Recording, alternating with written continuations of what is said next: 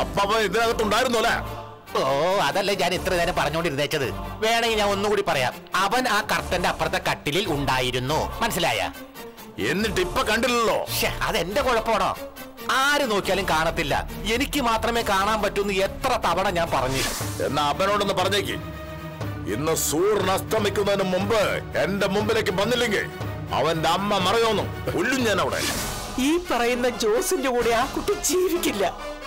അവരെ സ്നേഹിക്കുന്നത് കൊണ്ട് എന്ത് ചെയ്യണമെന്നറിയാത്ത സാഹചര്യത്തിൽ വിഷമം കൊണ്ട് ആത്മഹത്യക്ക് ചിന്തിക്കുമോന്ന് പോലും ഭയമുണ്ട്. ഇവിടേക്ക് ആരും കടന്നു വരില്ലെന്ന ഗാന്ധാരിയമ്മ പറഞ്ഞത്.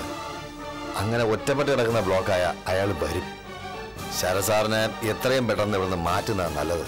അതിനു മുമ്പ് ആ അമ്മ എങ്ങനെയെങ്കിലും രക്ഷിക്കണം.